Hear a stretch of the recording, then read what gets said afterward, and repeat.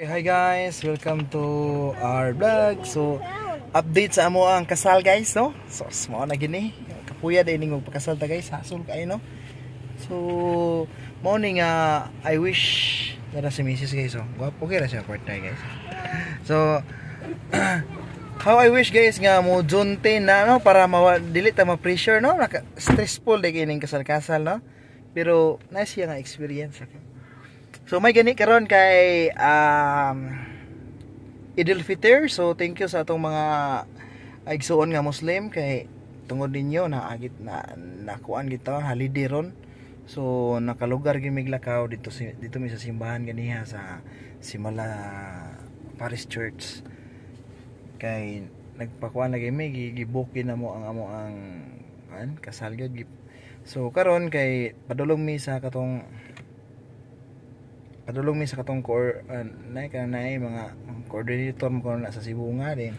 Ingon si Mrs nga si Mrs si Mrs mo gud ang nagkuan ani naga kanang naga lihok na tanan kay ah, naga plano na tanan kay ah ngun ani po ni ana ka disadvantage guys no? Kung kanang so akong advice no? Akong advice dai sa katong mga mga bana no kung akong advice ninyo guys uh,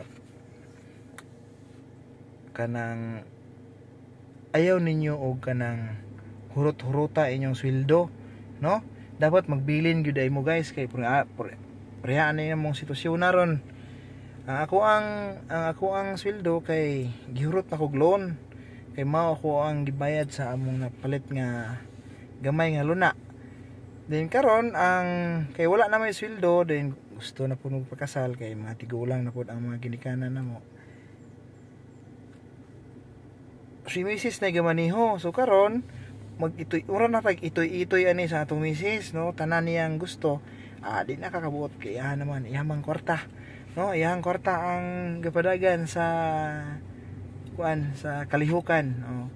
So karon tanan niyang gasto sa among kasal iyaha, no? So kita ani basig teacher ta, wala naman tay sweldo, wala naman tay matiti, no? So magkuan na lang ta, no? Sunod-sunod lang ta, himo lang tang driver. So karon uh, gikan mi sa simbahan uh, nagpagpa-schedule no ari na pud mi sa kanang nako na siya kay ilang coordi- coordinator. Then um, gusto ta mi, gusto ta mi. Ako ako gusto kay gusto ta kay ko nga dili mag coordinator kay kanang dako kayo dako kayo gasto gyud no? Pero unani gid siguro ning kasal. Mo gasto gyud siguro ta no? Paita. Kapoy ano man eh sa simbahan lang murag ubayra na mo.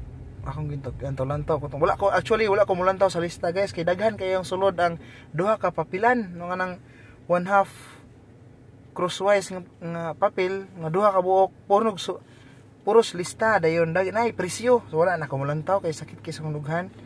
No? Ah siya misis na bahala ato na strong kay na ako misis about ana mga finances. So iyahan na siya. No? So karon ah mo na siya sunod-sunod lang ta no? Dili ta basta-basta mo kuan kanang apil-apil kay na dili ra ba ni ato ang gasto? No?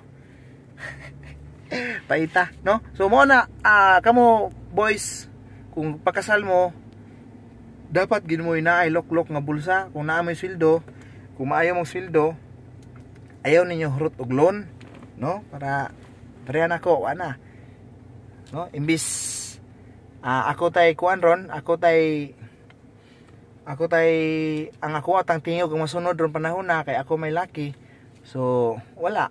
Kuanta kanang uh, itoy-itoy ta itoy-itoy ta sa to misis no?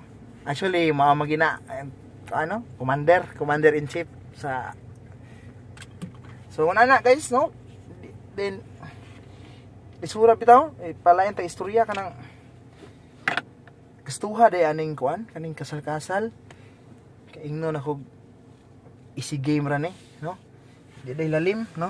Labi nag kanang magastuhono na, isyu kay nako.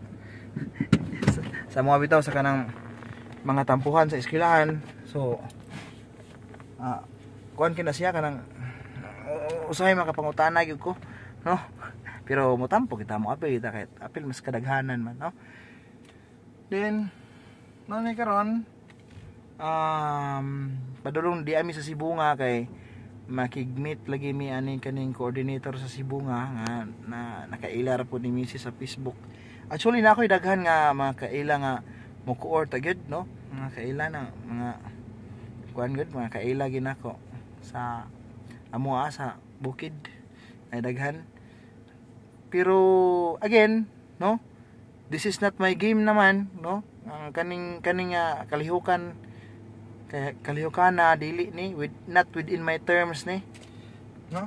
Sa terms ni sa akong misis so I play with the terms ni misis.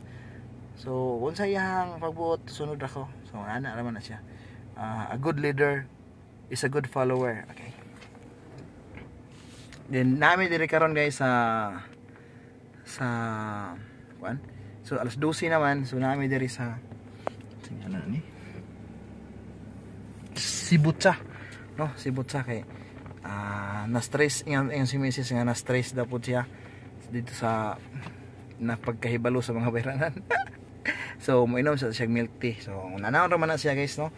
Ang ato ang, ang atong misis kung aron wala ang stress no sa ato ang misis ah pasadaan to sila og unsa iyang maganahan gusto labi na sa kaon.